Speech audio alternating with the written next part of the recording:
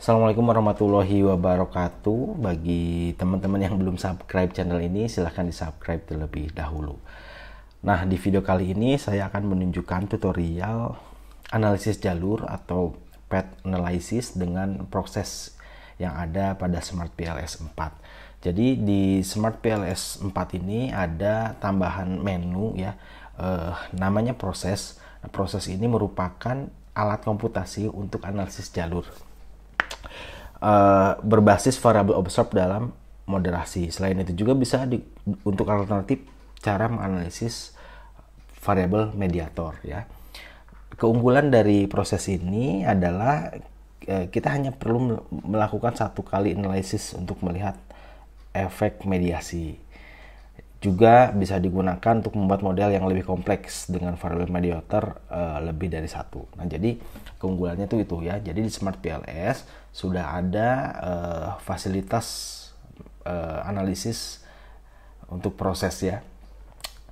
Saya akan coba tunjukkan model yang uh, mungkin lengkap ya. Ada variabel moderasi, ini Z variabel moderasi, ada variabel mediasi. Nah, kita akan lakukan analisis ini. Kita gunakan path analysis di Smart PLS uh, menggunakan proses ya.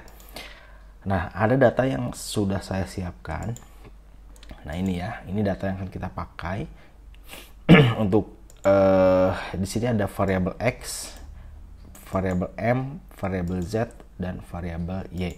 Nah, M ini adalah mediator atau mediasi Z ini adalah moderator atau moderasi, Y-nya adalah variabel dependent dan X-nya variabel uh, independent.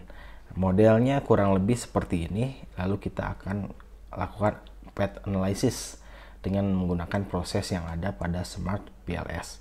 Nah, ini mudah-mudahan bisa menjawab teman-teman yang uh, mempunyai variabel kompleks ya, ada mediatornya, ada moderasinya gitu ya ini salah satu contohnya saja. Nanti saya akan berikan contoh-contoh lain di di video-video berikutnya ya.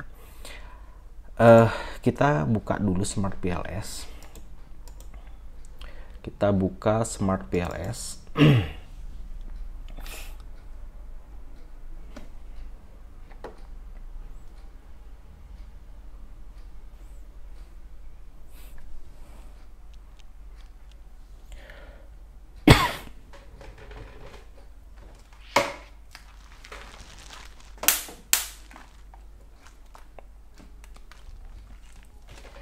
sudah terbuka tinggal teman-teman uh, masuk atau buat project baru new project dipilih new project. Kita beri nama misalnya uh, analisis jalur. Ini merupakan proses ya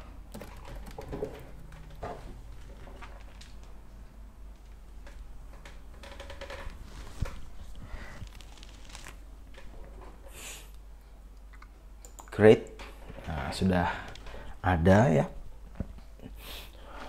Project analisis jalur proses. Uh, kita akan import data yang ada di sini. Kebetulan saya simpan data ini di desktop. Jadi teman-teman uh, import data. Nah ini ada di desktop. Ini sesuaikan dengan data teman-teman ya.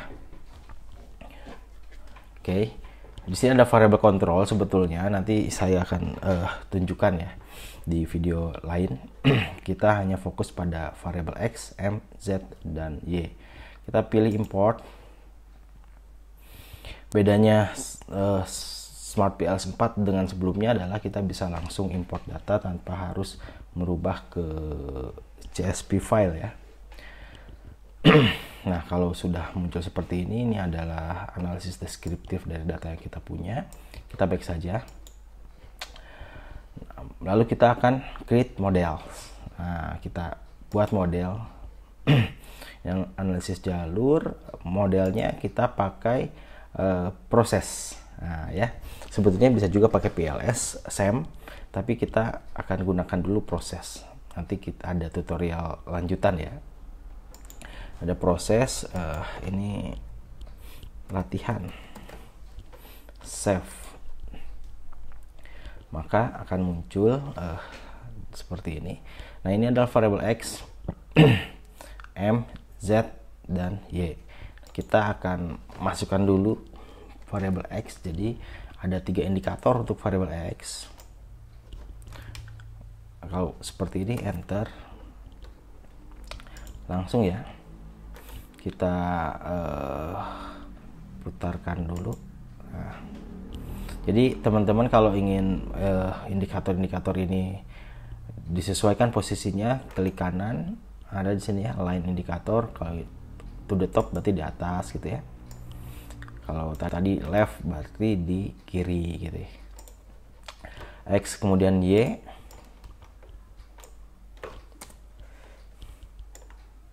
nah di Smart PLS kalau misalnya belum ada uh, kalau warnanya seperti ini ada problems nih ya. Jadi this variable is part of an inherent graph jadi masih masih bermasalah di sini. Karena kita belum hubungkan kemudian M kita simpan aja di sini. Ini mediator dan Z ini adalah moderator oke ya. Tinggal kita hubungkan kita buat model. Setelah variabelnya kita masukkan kita pilih connect. Nah connect ini menghubungkan variabel. Jadi kita akan hubungkan x ke y. Pengaruh langsung x ke y kemudian melalui mediasi x ke m kemudian m ke y. Lalu ini adalah moderator. Nah moderator biasanya ke sini nah gitu ya. Ini adalah modelnya. Ada variabel moderator ada variabel mediasi. Nah, kalau udah seperti ini kalau kita mau masuk masukin variabel kontrol juga gak apa-apa ya di sini. Kontrol 1 kontrol 2 misalnya eh,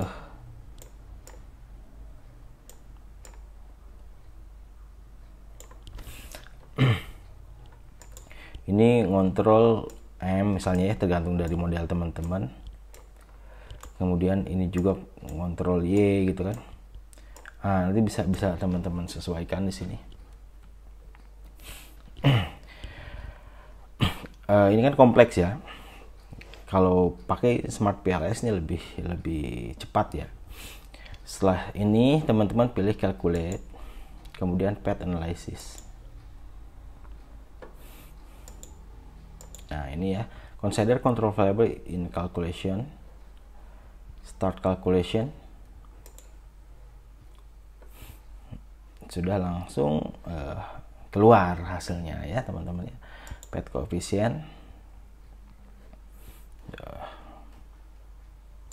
oke untuk melihat signifikansi eh, teman-teman uh, bisa lakukan bootstrapping. Pilih calculate kemudian bootstrapping ini tinggal di start calculate.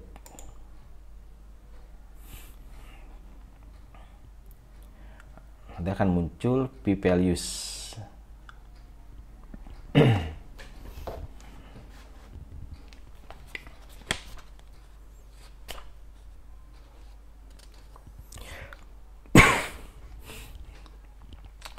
Nah ini sudah uh, tuh ya langsung ada p values-nya kelihatan teman-teman nah kita lihat ya ini hasil akhirnya di sini bisa kita lihat, kita lihat ini ya, p values ini secara langsung saja. Misalnya x ke y itu berpengaruh. Karena p values-nya adalah 0,0 di bawah 0,05. Uh, z ke m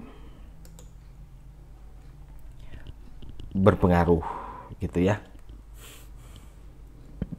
apakah ada hubungan mediasi bisa lihat spesifik indirect effect. Nih, di sini ada spesifik indirect effect. ternyata kalau dari sini ya kita lihat uh, memiliki efek mediasi X ke M ke Y gitu.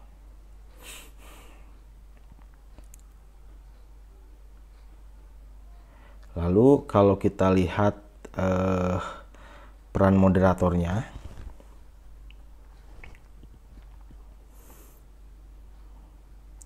atau perkalian antara moderator dan ini nih ya X kita bisa lihat juga di pet koefisien ya.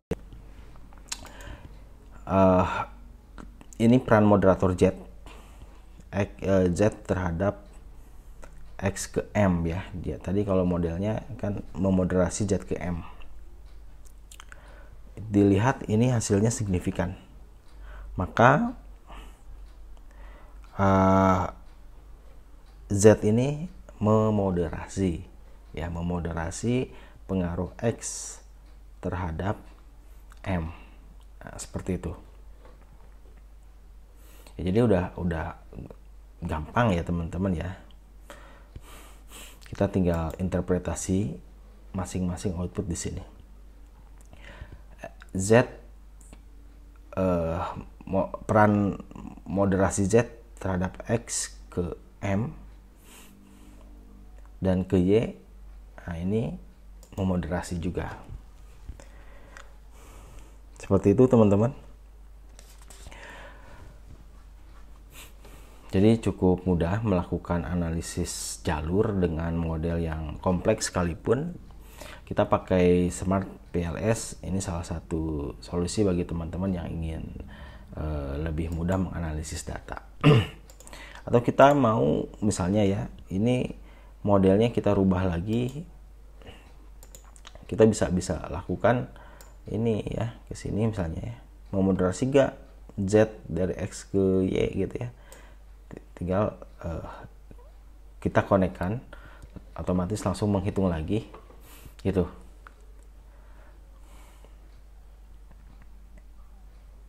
Kita tunggu ya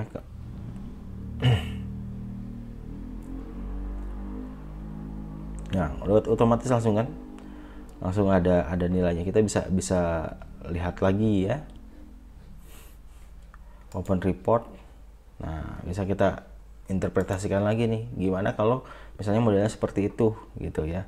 Tadi kan yang kita tambahkan ini uh, moderasi Z untuk pengaruh X terhadap Y. Ternyata tidak memoderasi gitu ya. Atau kita mau rubah lagi ya kalau Z memoderasi gak dari M ke Y? Kita tinggal uh, connect kemudian ya kita masuk ke sini. Lalu otomatis menghitung lagi nah jadi kalau misalnya teman-teman punya uh, model yang kompleks ada variabel moderator ada variabel mediasi mungkin ini adalah salah satu uh, solusi ya. Langsung muncul lagi kan? Seperti ini. Kalau misalnya ini mau dihapus juga bisa hapus. ya.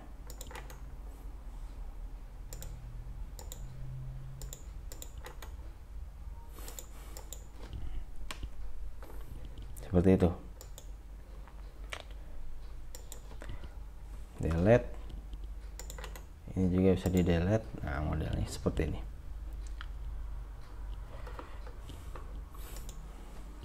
Kita delete. Ketika kita hilangkan variabel atau uh, kita rubah garis otomatis dia akan menghitung lagi nah jadi ini adalah uh, salah satu contoh kasus bagaimana kita melakukan analisis uh, analisis jalur ya path analysis dengan menggunakan proses. Ya kita bisa manfaatkan di ya, Smart PLS yang terbaru ya. Ini sudah ada menu ini. Itu saja. Cukup mudah ya. Silahkan kalau misalnya teman-teman ingin bertanya tulis di komentar. Terima kasih. Assalamualaikum warahmatullahi wabarakatuh